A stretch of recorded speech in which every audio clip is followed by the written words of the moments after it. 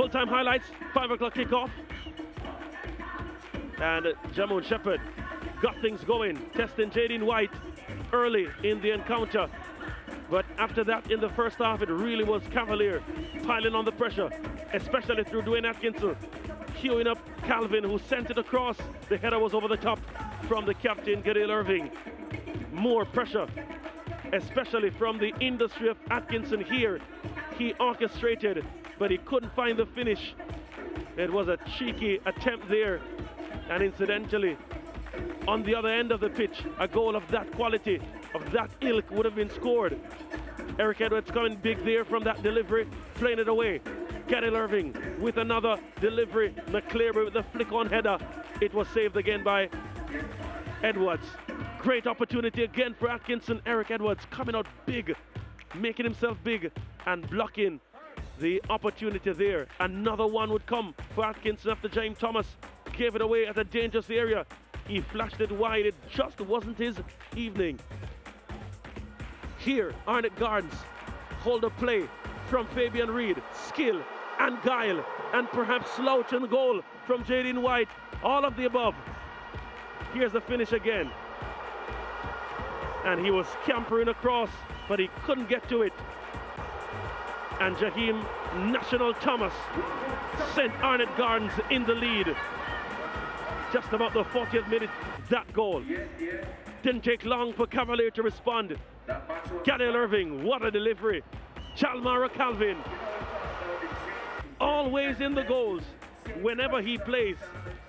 There is an opportunity for him, and he took that one with a plum. Edwards beaten at his near post. Perhaps should have come forward with a great level of conviction, Eric Edwards, but take nothing from the finish. Jalmaro Calvin. Second half action now. Good play here. Saved by Jaden White from the shot of Shepherd. Shea Smith had that opportunity. Saved by Vino Bartlett. The Sportsman at that moment. Glorious opportunity for Shea Smith. And that was the end of it. Honours even. Full-time stats. Four shots on target from 11 attempts for Arnett Gardens, four from 12 for Cavalier. There were some 20 fouls, 12 for Arnett Gardens, eight for Cavalier. Four yellow cards given to Cavalier. They must be careful in the second leg. Two offsides for Arnett, one for Cavalier. Five corners for Arnett Gardens, three for Cavalier. And the line share the possession, 56 saves even among them, three apiece. And it is one all the score at the end. We go to Leger. He has the man of the match. Yeah, I'm here with Marlon Martin, today's man of the match. It was a really tough game for you, I can imagine. And you know, you, you did a lot of work in the midfield. You even took over the captain's armband. How was the game for you? Um, I, I, think it was a very good game, but. Uh, start over, start. Yeah, no, how was the game for you? I was asking how was the game for you? Yeah, I think it's a very good match. Uh, we think we don't start good and at that kind of cast, but second leg we do your thing. Yeah, we're live, man. You know, you don't need to worry about that, man. Um, yeah, it was a really tough game. Um, this Cavalier team, they put a lot of pressure on you. What do you think that your change should do better? Um, I think we have to take our chance and Cavaliers, I know that they're very good defensively, they're very disciplined. So as we get a chance, we have to just make it count. And at that, I go make it go through. I will take our chance. Yeah. What do you think you can do better in the second leg to really get that improvement? Uh, I think we can play much faster. I, I, think we can play much faster. We're playing slow and we have to be better than that if we want to reach the final. Have to play a little bit faster, quick thinking, quick transition, and just take our chance. Yeah. Well, it was an excellent performance by you today, and you showed a lot of leadership to even take over the captain's armband. Best of luck in the second leg. Yeah, best of luck. Yeah, Marlon Martin there.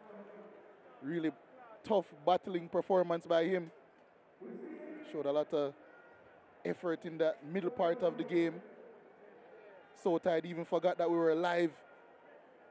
Wanted to start over, but he'll have another chance to execute on the pitch next week so too will this man's team. Coach, you don't look too pleased after that game, but it was a pretty tough game. I imagine that there are some aspects that you're pretty positive about still. Yeah, I mean, a little bit disappointed with the way um, execute for, for some parts of the game based on what we discussed and what we know was coming at us. I didn't think we handled some of the situations good. I didn't think we make some good decisions, you know. Um, and, and, and for that, that I'm, I'm, a little bit disappointed. But happy that we're, we're heading into the next leg um, and we're not trailing. And you were concerned before the game.